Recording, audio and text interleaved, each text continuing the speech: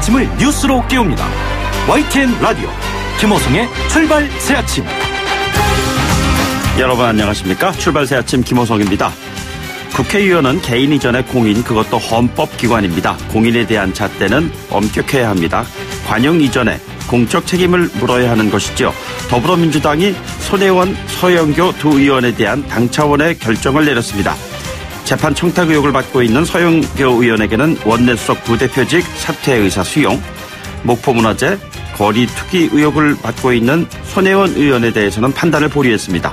보류된 판단을 바라보는 여야의 시각은 극명하게 엇갈립니다. 초권력형 비리라는 야당 공세에 청와대는 초현실적 상상력이라고 반박했습니다. 손 의원은 어제 저녁 YTN 라디오에 출연해서 자신을 믿어준 당에 감사하고 자신에게 오는 문자나 쪽지들도 95%가 믿는다, 믿게 되었다 라는 내용들이라고 밝혔습니다. 남의 눈에 티끌을 바라보는 자신의 눈 속에 무엇이 있는지 그것은 내가 판단할 일이 아니죠. 여야의 논평 또는 관련 기사에 달리는 댓글이나 시청취자 의견을 통해서 확인하는 게 맞습니다. 오늘 일부에서는 서른 홍문표 여야 두 중진 의원으로부터 송혜교 의원 사태를 바라보는 송혜원 의원 사태를 바라보는 엇갈린 시각을 알아보도록 하겠습니다. 청취자 여러분들의 의견도 기다리겠습니다. 유료 문자 샵 0945 애플리케이션 유튜브를 통해서는 무료로 참여하실 수가 있습니다. 1월 18일 금요일입니다. 잠시 후 출발하겠습니다.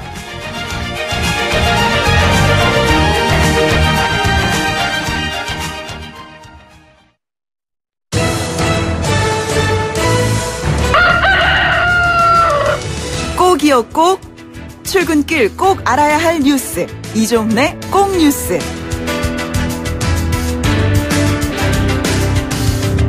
네, 오늘 꼭 아셔야 하는 뉴스 정리해 보겠습니다. 시사평론가 이종원 박사 나오셨습니다. 안녕하십니까? 네, 안녕하세요. 자, 어제 김정은 북한 국무위원장 3.1절 답방설이 불거졌습니다. 3.1절. 네, 예. 그렇습니다. 그러니까 이 3.1절에 맞춰서 네네. 예, 답방을 추진하는 방안이 청와대와 여권 일각에서 검토 중이다. 예. 이런 보도가 나왔어요.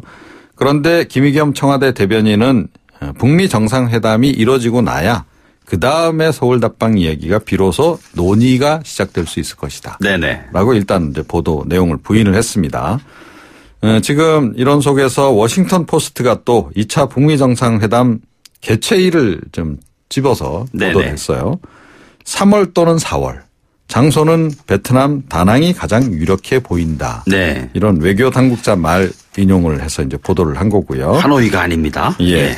오늘 지금 이제 김영철 북한 노동당 부위원장 뭐 지금 뭐 도착을 했는지 아니면 조만간 도착할 것인지 이제 뭐 거의 지금 임박한 그런 상황인데요.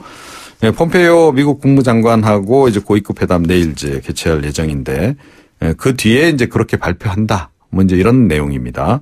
어, 그리고 이 최근 국가정보원이 이 베트남 쪽에 관계자들을 극비리에 방문, 네, 예, 파견을 해서 베트남 정보 당국과 정보를 공유했다. 이런 네네. 보도도 지금 네, 함께 나오고 있습니다. 예. 알겠습니다. 지금 어 도착을 했나요? 김영철 그 뭐 임박했다 이런 보도까지는 제가 보고 들어왔는데요. 네네. 네. 알겠습니다. 그리고 손혜원 더불어민주당 의원의 매입한 목포 건물 땅 추가로 확인이 되고 있다 이런 얘기도 있습니다. 예, 뭐 계속 지금 이제 그 숫자가 늘어나고 있죠. 네네. SBS 첫 보도 당시에 이제 아홉 채였고, 어, 그 다음에 이제 그 다음 날 이제 추가로 한 채 더. 그래서 이제 열 채. 예, 이렇게 알려졌는데 어제 채널A가 또 추가로 확인을 해본 결과 16채. 그런데 또, 어, 이 최종적으로 지금 이제 나오는 얘기는 어, 문화재청이 지난 8월 관보에 등록한 그, 그 지역 그 필지 현황 등기부 등본 네네. 그걸 다 확인을 해봤더니 건물 땅이 모두 20, 20곳이다. 예. 라고 또 보도를 지금 하고 있습니다. 음, 지금 그 근대 역사 문화 공간 그 중심 대로변에 밀집해 있다 그래요. 예. 어, 그래서 이게 원래 지정할 때 당초에는 조금 더 넓게 잡았다가 축소를 시킨 모양이더라고요. 네네. 그런데 어떻게 참 공교롭게도 그 안에 다 포함이 돼 있다는 아하. 겁니다. 예. 예. 그래서 지금 문화재청도 굉장히 당혹스러워하고 있다 그럽니다. 네네. 그러니까 이게 음 어찌됐건 뭐 특정인에게 혜택이 이렇게 많이 돌아가거나 음흠. 이것도 좀 부담스러울 뿐만 아니라 이게 또 매입이 또 최근에 집중적으로 이루어졌단 말이죠. 예, 예. 그러면 내로도 어 이거 정보가 밖으로 어떻게 유출된 음. 거 아니냐라고 예좀 의심을 할 수밖에 없는 그런 네네. 상황인 거죠. 어, 이런 속에 더불어민주당 최고위가 어제 이제 긴급회의를 가졌고 손 의원에 대해서는 투기가 아니라는 본인의 해명을 그냥 받아들였습니다. 그래서 판단을 보류 어, 뭐 이렇게 결정을 내렸고요. 서영교 의원 재판 청탁 의혹과 관련해서도 이 본인이 원내 수석 부대표직 자진 사퇴하겠다는 네네. 그 의사만 딱 수용을 하는 선에서 결정을 내렸는데 음 글쎄요 이 모든 게 총선 때문 아닌가 음흠. 이런 생각도 좀 듭니다. 네. 하지만 당내 일각에서도 좀 우려가 좀 제기되고 있긴 하대요. 계속 이런 식으로 이 끌어안고 가는 게 과연 도움이 되겠느냐 이제 이런 얘기가 나온다 그러고요. 예.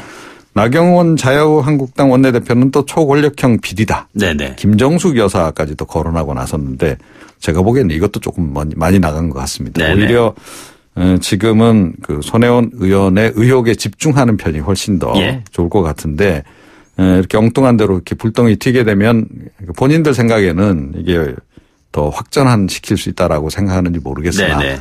오히려 또 역공을 당하는 빌미가 또 되기도 하죠. 예. 여기에 대해서 청와대는 초현실적 상상력이다라고 일단 네네. 반박하고 나섰습니다. 국민들은 정치적 공세보다는 사실 확인을 그렇죠. 일단 원하고 있는 것이잖아요. 알기를 원하는 그렇죠? 거죠. 예. 네. 알겠습니다. 그리고 우윤근 러시아 대사 구속권은 또 이건 뭐, 무엇인가요? 예, 김태우 수사관이 우윤군 대사 금품 수수 의혹 관련한 보고서를 작성했다가 청와대 눈 밖에 나서. 쫓겨났다라고 폭로하지 됐죠. 예. 않았습니까? 그 어, 사건하고 관련이 있는 겁니다. 그 의혹의 당사자인 부동산 개발업체 그 대표 장모 씨가 억울한 상황을 더 이상 참을 수 없어서 고소했다라고 네. 공개하고 나섰어요. 어, 여기에 대해서 우 대사 측 어, 변호사는 고소장을 냈다는 것은 기사로 접했는데 우리도 무고죄로 맞고소할 계획이다라고 지금 얘기는 하고 있습니다. 예, 이것도 좀 진실 공방이 이제 꽤 벌어질 것 같고요. 네네. 어, 김 수사관 어제 4차 참고인 조사 받았습니다. 어, 그런데 21일 날 공익 신고자의 신분으로 변호인 입회하에 공식 입장 발표하겠다라고. 어, 지금 밝혔어요. 어, 공익 제보자 보호를 위, 위한 자유를 수호하는 변호사 모임 뭐 이런 쪽에서 아마 도와주는 것 같은데 예. 그쪽에서도 자체 성명을 발표한다 그럽니다. 그날 어, 이런 속에 청와대 특별감찰반 또 예, 어제 내부 규정 재정비 마무리하고 설 전에 정상 활동을 재개하겠다라고 또 공개를 했어요. 이름을 바꾸는 모양입니다. 네네. 특별감찰반이 아니고 그냥 감찰반. 아, 특별을 뺐습니다. 네, 그렇습니다. 특별하지 않다는 얘기인가요? 그게 아니고 뭐 특별하다는 단어가 들어가면 왠지 위세가 좀 확 있는 것처럼 보이고 네네. 비치잖아요. 네, 그렇습니다. 예, 예, 경제 관련 얘기인데요. 문재인 대통령이 수소, 이 수소 경제에 드라이브를 강력하게 걸고 나서는 모습입니다. 네, 그렇습니다. 뭔가 이제 이, 이 출구를 좀 찾기 위해서 애를 좀 쓰는 네네. 예, 그런 상황인 것 같고 어, 어찌됐건 뭐 혁신 성장에 방점을 두는 그런 상황이니까 이런 행보를 보이는 것 같습니다. 어제 울산시청에서 열린 수소경제 전략 선포식에 참석을 했습니다. 네네. 요즘 현대차 특히 수소차 부분은 내가 아주 홍보 모델이에요. 예, 라고 발언을 하셨더라고요. 하시더라고요. 예. 그리고 울산의 그 식당 함양집에서 또 지역 경제인들하고 오찬 간담회도 갖고 네네. 스킨십을 굉장히 강화하고 있습니다. 어, 지금 어제부터 규제 샌드박스 제도도 실행에 들어갔거든요. 19개 기업이 지금 이제 신청을 했는데 현대차가 서울 시내 5개 지역에 수소차 충전소 설치를 위한 허가를 요청을 했습니다. 네네. 어, 그리고 홍남기 경제부총리는 소상공인 연합회에 또 어제 그 가셨더라고요. 소상공인 연합회 생기고 경제부총리 방문한 게 처음이라 그럽니다. 네네. 어, 그런데 여기서 또 그 속 시원한 그분들이 듣기를 원하는 대답을 내놓지는 않으셨어요. 예. 업종별 최저임금 차등화 요구하고 있지 않습니까? 네네. 이 부분에 대해서 현실적으로 당장은 어렵다 이런 얘기를 또 했네요. 네. 예. 이게 뭐 3천만 원대 수소차를 타고 드라이브를 하게 될 날이 그렇게 멀지 않았다. 뭐 이런 얘기가 나오는데요. 새로운 에너지원을 바탕으로 한 차량 주행 보게 될 날이 그렇게 뭐 멀지 않은 것 같습니다. 네. 오늘 말씀 여기까지 듣죠. 고맙습니다. 네. 지금까지 이종훈 시사평론가였습니다. 뉴스를 만들어내는 뉴스 이슈를 끌고 가는 이슈. 아침을 여는 정통 아침 시사. YTN 라디오 김호성의 출발 새 아침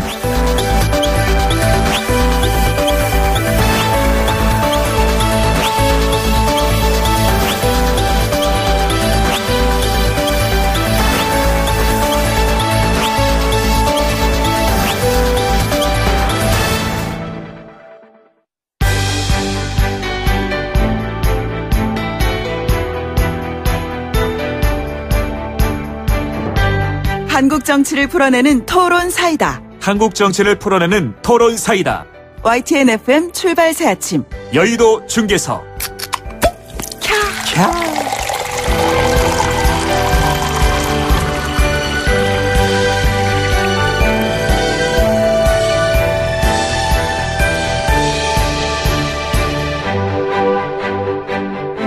네, 한국 정치를 쏟아내는 토론사이다. 여의도 중계석 시간입니다. 오늘 이 시간에는 여의도 정치 상황을 누구보다도 명쾌하게 풀어주실 두 분을 모셨습니다. 경기 부천시 원미구 을 더불어민주당의 서른 최고위원 나오셨습니다. 안녕하십니까? 네, 반갑습니다. 민주당의 서른입니다. 네, 충남 홍성군 예산군 자유한국당의 홍문표 의원 나오셨습니다. 안녕하십니까? 네, 한국당의 홍문표입니다. 네. 뭐 오늘 시간이 그렇게 많지가 않아 가지고요. 좀 네네. 타이트하게 좀 진행을 하도록 하겠습니다. 먼저 좀 5.18 민주화 운동 관련해서 어, 질문을 좀 드리도록 하겠습니다. 전두환 대통령 관련 사안인데요. 알츠하이머 병에 걸린 상황에서 어, 골프 라운딩을 했다 뭐 이런 얘기도 나오고 그러지 않았습니까? 그냥 간단하게 이 사안을 지금 어떻게 보셨는지요, 서른 의원님? 근데 알츠하이머 걸린 분이 골프 쳤다는 얘기는 참 들어본 적이 없습니다. 네네. 이거는 아마 알츠하이머라는 부분을 과장한 것 같은데 에, 그럴 것이 아니죠. 근데 전두환 씨 측은 뭐 29만 원부터 해가지고 뭐 민주화의 아버지다, 뭐 알, 알츠하이머다. 뭐. 근데 지금까지 한 얘기들이 다 신뢰하기가 너무 너무 어려워요. 네네. 그래서 음, 또 한 번 국민 우롱하려고 들은 것 아닌가 네, 이런 생각이 들고 다행히 이제 법원이 어, 3월 11일이죠. 네네. 어, 공판에 나오라고 재판에 나오라고 강제 부인하겠다고 결정을 했기 때문에 예. 어, 재판은 잘 진행될 거라 생각합니다. 네. 그래서 바라기는 어, 전두환 씨가 나와서 국민 앞에 사죄할 수 있는 기회라고 생각해요. 얼마나 사시겠어요? 네네. 이 사죄를 하고 망월동에 가서 그 영령들께 참 내가 못할 짓을 했다. 그렇게 풀어나가야 돼요. 그게 현명한 짓이지. 그렇지 않고 계속해서 이런 식으로 국민을 우롱하는 짓을 하면은 손손대대 정말 그 피해를 보게 됩니다. 네네. 그 자식들, 손주들. 살아생전에 마무리하는 게 좋다 이 말씀이시죠? 그렇습니다. 예. 이완용을 보십시오. 그 누가 우리 할아버지가 이완용에 대한 사람 아무도 없어요. 치욕으로 생각하고 있지 않습니까? 네. 전두환 씨도 그렇게 될 겁니다. 그걸 풀어야 돼요. 예. 홍 의원님 어떻게 보셨나요? 어, 뭐, 이 골프를 사실 쳤다는 게 확인만 된다면은 네네. 이건, 음, 후한무치한 행동이고 예. 그리고 어, 국민 앞에 사죄를 하고 또 국민에게 예, 잘못된 것을 용서를 받는 절차가 난 필요하다고 봅니다. 네네. 확인을 좀 더 확실히 할 필요가 있다. 네. 선 확인이 우선돼야 된다 이런 말씀이십니다. 청취자 여러분들 의견 있으시면 주시기 바랍니다. 샵 0945 짧은 문자 유료 문자 있고요. 그리고 유튜브 지금 어, 보이는 라디오를 통해서 생중계가 되고 있습니다. 어, 이쪽을 통해서 직접 댓글을 달아주시면 저희들이 소개해드리도록 하고요. 어, 애플리케이션을 통해서도 무료로 참여하실 수가 있습니다. 어, 전두환 전 대통령 연관된 이야기 일 수가 있을 텐데 5.18 진상조사위원회 추천을 했는데 이 자체가 또 논란이 되고 있습니다. 세 분이잖아요. 권태호, 이동욱, 차기환 변호사 이 추천인데 인물 변면에 대한 평가를 좀 간략하게 어, 어떤 생각을 가지고 계신지 서리면 먼저 말씀해 주시죠. 권태호 씨는 이게 저 장군으로 육군 중장이든가요. 작전통이라고 그러거든요. 그렇습니다. 5.18과랑 아무 상관도 없고 또 이런 진상조사에 대한 이런 전문성이 있는 분도 아니에요. 왜 이런 분을 모셨는지 저 이해가 잘 안 되고 그다음에 이동욱 골간조사 기자는 과거의 광주 상황에 대한 기사를 내면서 굉장히 왜곡된 기사를 내 가지고 광주 이 관련자로부터 사과하라고 이렇게 요청을 받고 그러기도 했습니다. 예. 그리고 차기현 변호사도 뭐 마찬가지였는데 이분도 강상을 왜곡해가지고 유족들로부터 심한 반대에 부닥쳤어요. 또 이분은 이 그 세월호 진상조사 하면서 거기에도 들어가 있었습니다. 네네. 진상조사 방해한다고 그래가지고 어, 세월호 관계자로부터 아주 심한 이게 공격을 당했던 그런 네네. 분이신데 왜 이런 분을 이 그 진상조사위원으로 했는지 참 이해가 잘 안 되고 네네. 어, 자유한국당이 이게 선택을 잘못했다. 전문성 있는 분을 하든지 학자들로 하든지 저, 제주, 적어도 이게 진상조사를 할 수 있는 여건을 갖춘 분들로 했어야 되는데 네네. 전혀 적어도 방해할, 음, 방해할 가능성이 높은 분 예. 이런 분으로 해석되는 분들만 했다는 거는 큰 실책이라 생각하고 실책이 아니라면 고의적으로 이건 진상조사를 안 하기 위한 수단으로 한 것 아닌가 네네. 이런 의심을 지을 수가 없습니다. 지금이라도 빨리 수습을 하려면은 다른 분들로 대체하는 것이 방법일 거라 생각합니다. 예, 홍 의원님 의견은 어떠신지요? 네, 5.18 문제는 민족의 문제고 우리 국민의 참 아픈 상처의 문제인데 네네. 이것이 너무나도 그동안 진상이 확실하게 밝혀지지 않은 데 대해서는 예. 국민 모두 의심을 하고 또 현실 정치에서 풀어야 된다고 봅니다. 네네. 그렇다면은 음 우리가 정당에서 추천하는 인물로 의원회를 구성한다라는 전제에서 추천이 됐다면은 네네. 일단은 열어놓고 그리고 거기서 감론을박에 나올 수 있고 한 물건도 측면에 따라서 보는 각도가 다를 수가 있습니다. 예. 그런데 정당에서 추천한 사람을 이 사람은 되고 이 사람은 안 된다는 네네. 선입견에서 이래 놓으면은 이 의원회 자체 가동이 안 되지 않느냐. 예, 예. 그러면 의원회를 하자고 그러면서 의원회 자체 가동이 안 된다면은 진실을 어떻게 구명할 것이냐. 네네. 그래서 저는 일단 열어놓고 이 세 분들이 정당에서 추천을 한 분들이니까 그리고 국민이 이 상황을 지켜볼 거 아닙니까. 음. 네네. 그럼 저 사람이 엉터리로 억지를 쓰는 것인지 진실에 입각하니 얘기를 하는 것인지 그리고 증거에 의해서 그 뒷받침을 한다면은 네. 저는 누가 그 자리에 앉아도 이와 같은 절차를 밟는다면은 국민이 평가할 것이다. 네네. 그래서 일단은 저는 의원회는 열어야 된다. 네. 이렇게 생각을 합니다. 알겠습니다. 청취자 여러분들 의견 기다리고 있겠습니다. 유료 문자 샵 0945로 의견 주시면 반영하도록 하죠. 시간이 없어서 다음 주제로 좀 넘어가야 할 것 같습니다. 손혜원 의원 이슈로 뭐 더불어민주당 좀 많이 어 고민이 많으신 것 같은데 어쨌든 판단을 좀 보류했습니다. 어제 그 YTN 라디오에 손 의원이 직접 출연을 하셨어요. 어 이야기를 뭐라고 했냐면 자신을 믿어준 당에 일단 감사한다. 아 이런 얘기를 했는데 당은 어, 손혜원 의원의 진정성을 좀 믿고 계시는 건가요? 서른 의원님 좀 말씀해 주시죠. 음, 근데 이제 손혜원은 대단한 부자예요. 돈이 네네. 많은 분이신데, 근데 그분이 지금까지 한 번도 투기했다는 소리를 들은 적이 없습니다. 예. 그리고 일반적으로 투기를 한다면은 그 땅값이 많이 올라갈 지역, 설군교, 어, 뭐 이런 데서 투기를 한다고 얘기 들었지, 뭐 저 모포 가서 투기한다는 얘기는 처음 들어요. 네네. 그래서 어, 손혜원 의원이 평소에 주변 분들에게 또 심지어 공개적으로 SNS에다가 목포를 살리려면은 목포에 관심을 갖고 좀 내려오느라 네네. 이런 주장을 하고 목포에가 살아라고 이렇게 권유도 하고 그랬다고 그럽니다. 예. 근데 그건 뭐냐? 목포가 워낙 이렇게 이, 그 초라하게 변해가고 있으니까 이걸 살려야 된다. 네네. 목포가 어떤 동네입니까? 그래서 이 김대중 대통령에 대한 이런 애정도 있고 하기 때문에 음. 어쨌든 목포를 살려야 된다. 그런 취지에서 목포의 문화를 살리는 쪽으로 방향을 잡자. 예. 이제 지- 지금 저이 손혜원 의원은 남편이 낮은 칠기 그 박물관을 가지고 있거든요. 네네. 그걸 목포에 옮겨가지고 어 이렇게 손혜원 의원은 낮은 칠기에 대한 굉장한 관심과 전문가예요. 예. 그래서 박물관을 만들고 그런 쪽으로 해서 목포를 문화의 도시로 변화시키겠다. 이런 가- 평소에 그런 생각을 갖고 있었고 주변 분들에게 많은 얘기를 했었어요. 네네. 그 취지로 그러려면은 사람들이 좀 관심 있는 사람들이 여기서 모여서 같이 함께 하자. 그리고 주변에 권유도 했고 네. 어, 또 공개도 했고 그거를 보면은 이거 투기가 목적이 아니고 목포를 살리기 위한 수단이었다. 네네. 이렇게 해석을 해야 되는데 그걸 뭐 투기라 그러고 심지어 뭐 초대형 권력형 뭐라 너무 나가는 것 같아요. 초권력형 비리라는 지적 그 나경원 그 원내대표도 얘기를 하셨는데 한국당의 입장을 좀 들어봐야 될 것 같습니다. 홍 의원님 어떠시, 어떠신지요? 예, 우리 옛말에 속담에 손바닥으로 하늘을 가린다는 말이 있는데 네네. 이 손 의원의 이 사건은 한 손가락으로 가리고 있는 겁니다. 손바닥이 아니라. 아, 그것은 음, 신문 보도 이미 국민이 아는 바와 같이 아홉 채로 시작해서 지금 땅과 합쳐서 20채 20여 곳으로 네네. 오늘 아침에 방송 신문에서 다 일제히 쓰고 있는데 예. 이런 과정이 처음에 터졌을 때부터 이렇게 명료하게 나름대로 다 자기 주장을 했으면 좋은데 예. 조금 조금 이게 신고에 의해서 나오는데 저희 당에도 지금 여러 신고가 들어왔지만 검증이 안 돼서 네네. 지금 절차를 밟고 있는 중으로 알고 있습니다만은 예. 에, 이게 문화재나 역사성 때문에 보존한다. 특히 그 적산가옥 같은 거를 예를 들어서 네네. 얘기를 하셨거든요.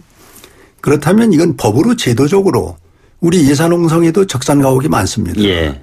이런 역사성과 문화성이 있다면 제도로 이거를 살리고 보존해야지 왜 개인이 나서느냐? 개인이 나서서 자기 집안 친척 뭐 비서들 다 데리고 와서 총동원해서 20여 채씩 매입을 한다는 거는 이건 상식적으로 설명이 안 되는 겁니다. 네네. 그런데 어제 어, 민주당 지도부가 이거를 손 의원이 얘기를 그냥 받아들였다는 거는 저는 당에서 상당히 지금 잘못 보고 있는 것입니다. 판단을 보류했다는 거 아닌가요? 받아들였다기보다. 보- 보류를 넣은 거죠. 아니 예. 보류라기보다도 손혜원 의원이 얘기한 게 저는 맞다고 생각합니다. 저도 목포에 여러 차례 내려갔는데 갈 때마다 느끼는 게 아, 목포를 이렇게 둬서는 안 된다. 네네. 이게 목포는 문화도시로 발전시키는 게 맞다. 이런 생각을 했었고 그럼 구체적인 방법이 뭐냐. 예. 여기서는 저는 막혔어요. 근데 손혜원 의원은 그쪽 전문가이기 때문에 자기 시각으로 보면서 목포를 살리려면은 문화도시로 가야 된다. 아까 네네. 말씀드린 대로 그 시각에서 보니까 이건 이 출하한 상태로 그렇게 둬서는 안 된다. 집도 사들이고 그리고 주민들이 와서 주변 사람들이 관심 있는 사람들이 와서 함께 달라붙어야 된다. 예. 이런 시각으로 이 캠페인을 벌렸다고 생각합니다. 네네.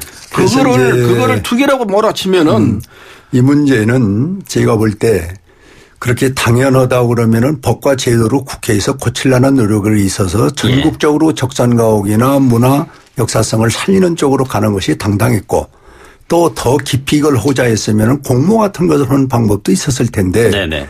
이건 순전히 가까운 자기 남편으로 또 비, 또, 저 보좌관 뭐 또 형제 뭐 사촌 뭐 이렇게 끌어들여서 이걸 집단화했다는 거는 네네. 설명이 안 됩니다. 설명이. 그래서 이거는 차라리 당에서 어 그렇게 받아들일 게 아니라 어 사실을 입증할 수 있는 그런 어떤 체제로 바꿔갖고 진상을 제대로 밝혀줘야지 네.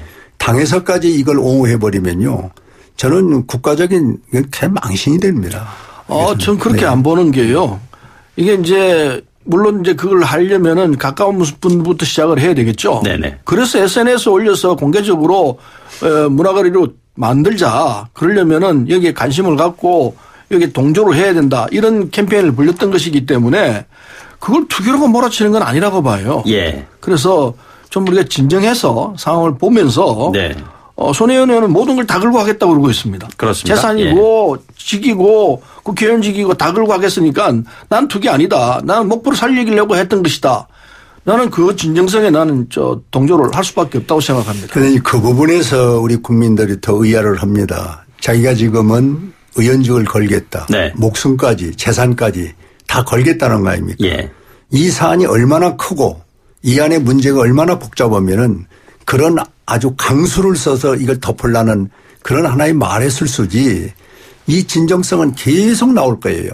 그래서 저는 이 문제를 빨리 일단 나을 치려면은 이 본의원이 여기에 대한 모든 책임을 지고 네네. 어, 당의 어떤 관계 없이 본인의 이 도덕성의 문제, 국회의원으로서의 문제, 그리고 지역의 무슨 발전, 무슨 문화재 이런 것은 하나의 투기의 전면에서 위장이지 예. 이게 진실성이 전혀 보이는 게 없어요. 아까 얘기한 대로 제대로 하려면은 국회에서 법과 제도로 이걸 만들어서 적산가옥을 비롯한 문화재 그리고 역사성을 살리는 제도를 만드는 것이 제일 좋은 건데 예. 그거 할 수 있는 충분한 능력이 있는 사람이 그걸 마다하고 형제들과 남편을 통해서 이렇게 집단적으로 한 지역을 매입했다는 거는 만약에 여기에 돈 많은 대기업이나 어떤 그 부동산 업자가 이렇게 했다라면은 네네. 지금 난리 날 겁니다. 어.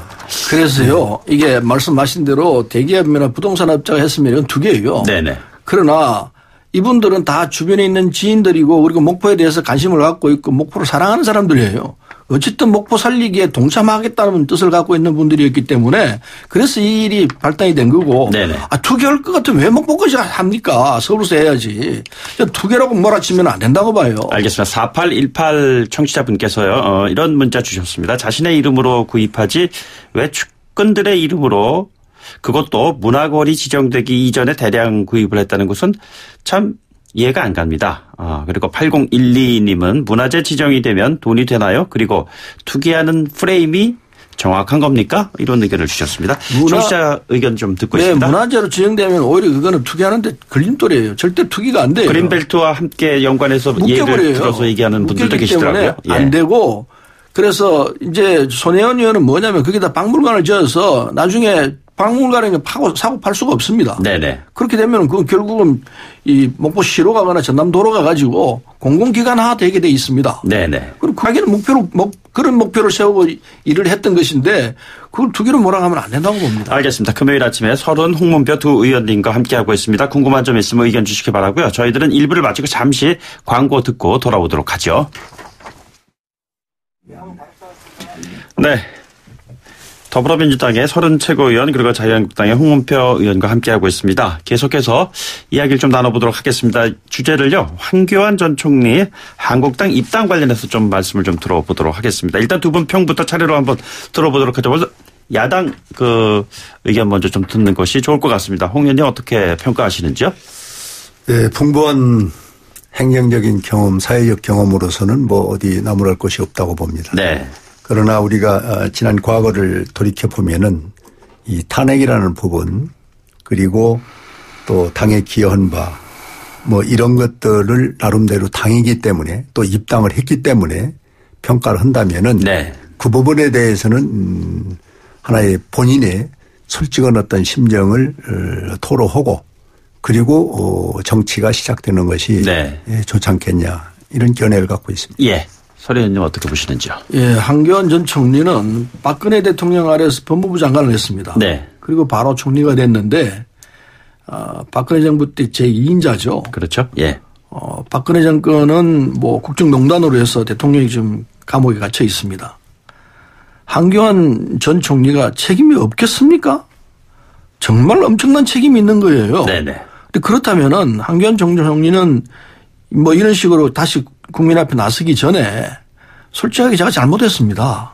제가 저, 저, 박근혜 정권의 2인자로서 제 책임이 대단합니다. 정말 죄송합니다. 사과부터 해야 돼요. 한 번도 내 사과했다는 소리를 들어본 적이 없습니다. 예. 대통령이 자기가 모시던 대통령이 들어가 있는데 그리고 자기 총리였고 군- 법무부 장관까지 했지 않습니까? 법무부 장관하고 총리하신 분인데 네. 책임이 엄청나죠. 자기도 감옥에 가야 될 처지도 몰라요. 예. 우리가 조사를 제대로 안 하고 그냥 끝 넘어가서 그렇지.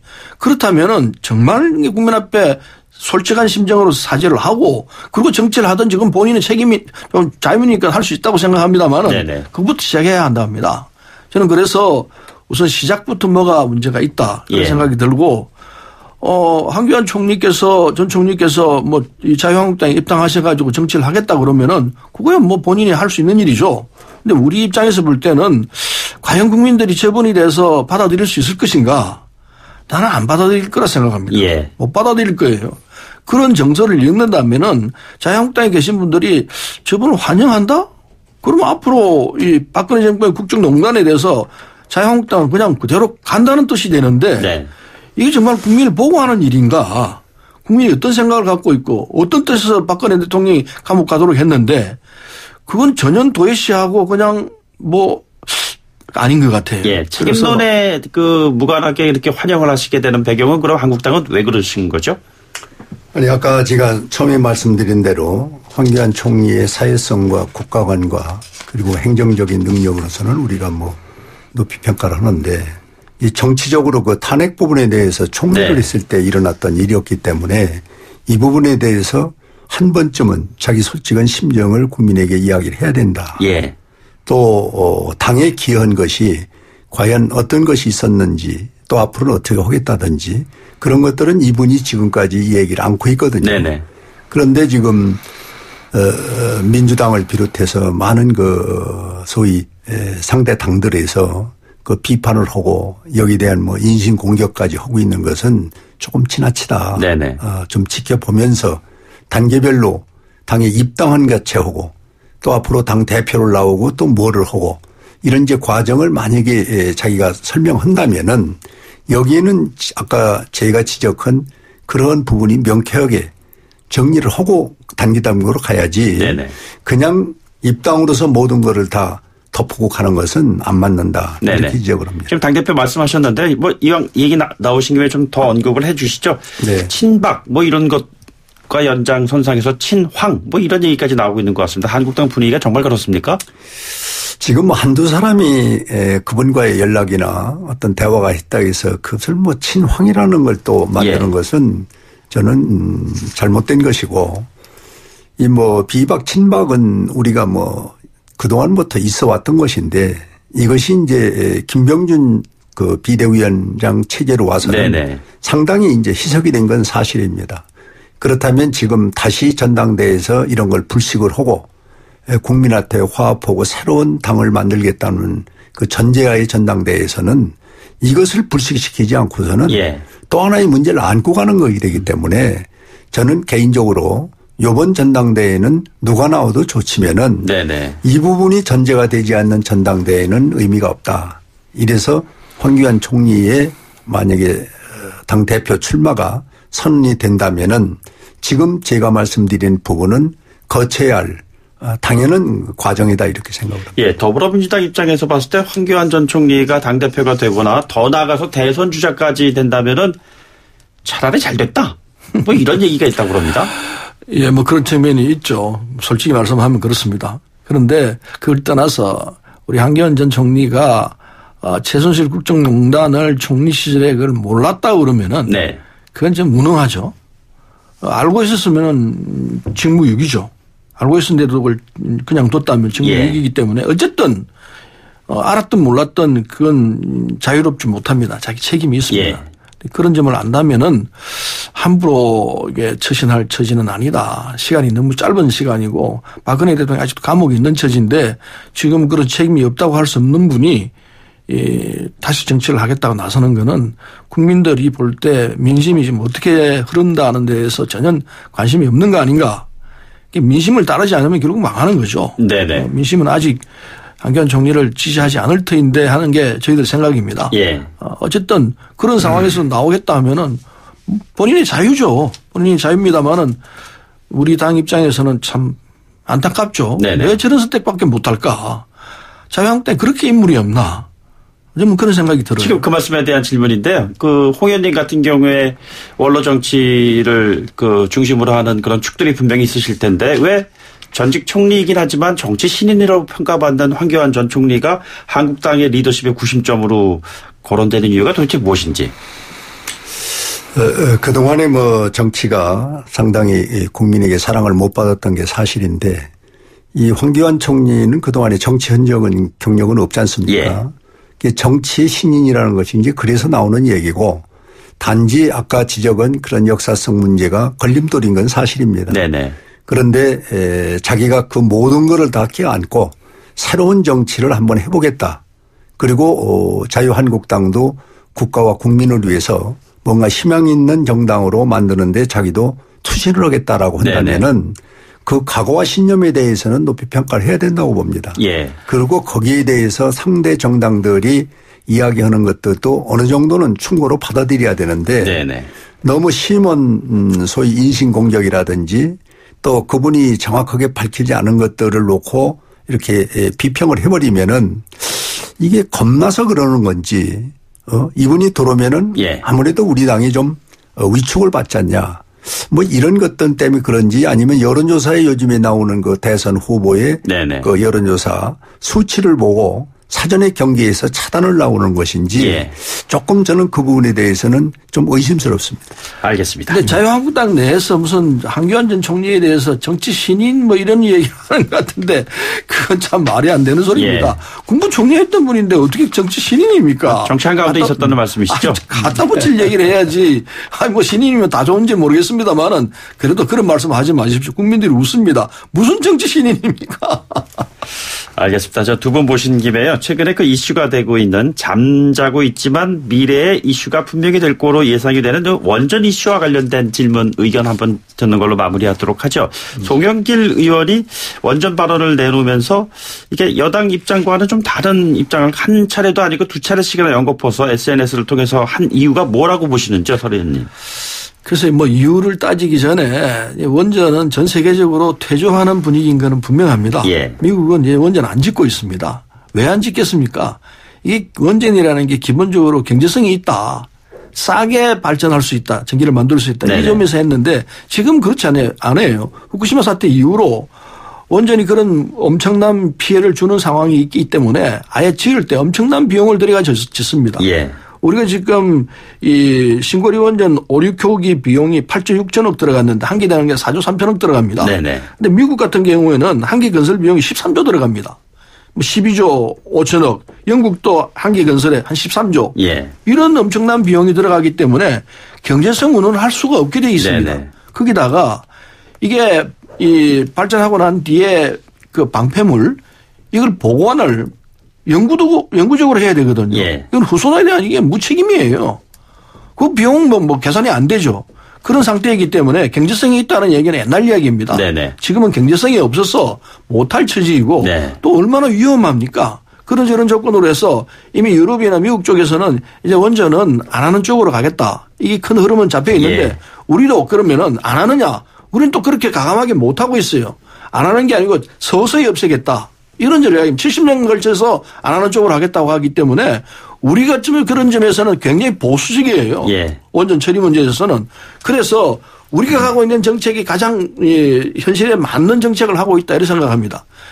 근데 지금 송영길 의원은 거기다 더 덧붙여 가지고 원전에 지금 종사하고 있는 사람들의 뒤를 생각하면은 네네. 이걸 해야 될 것 아니냐 이렇게 생각하는데 어차피 이거는 물러나게 돼 있어요. 물러나게 돼 있는데 뭐 이게 더 서서히 하자 이런 취지인지는 모르겠습니다만은 제가 볼 때는 그렇게 할 일은 아니라고 생각합니다. 근데 여당 내에서 나온 모처럼 용기 있는 발언이다라는 야당의 평가가 있었거든요. 홍 의원님 그렇게 보시는지요? 어, 이것은 크게 봐서는 지금 지적하신 대로 어, 여당이면서도 국가를 위해서 장래를 위해서 용기 있는 발언이다. 저희들은 이렇게 평가를 하고 있고요. 네네. 더 중요한 것은 지금 경기가 상당히 어려운데 이 원전의 단축 폐쇄로 인해서 더 가중되고 있는 것이 현실이고 그 다음에는 이제 일자리에 어, 많은 지금 손실을 보고 있고 또 국제적으로 한국이 가장 자랑할 수 있는 원전 기술이 네네. 지금 더 이상 발전 못 오는 것은 참으로 잘못된 정책이다. 이거를 송영길 위원이 주장한 것은 예. 저는 국민 입장에서 아마 개인적으로 많은 고민이 있었을 거예요.